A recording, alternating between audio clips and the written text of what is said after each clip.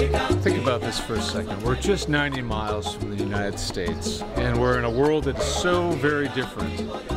Cuba, a place that is still off limits for most Americans. But what a great place. I mean, it's fantastic to see history all around you.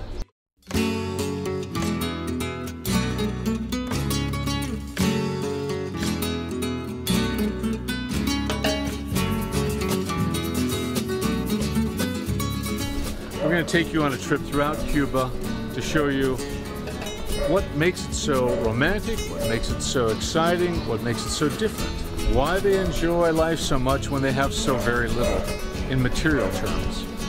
So this is going to be our little journey around Cuba.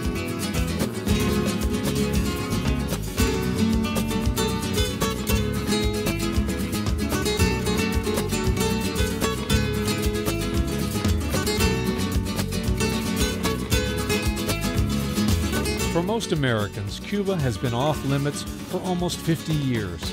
An embargo placed a long time ago during the Cold War.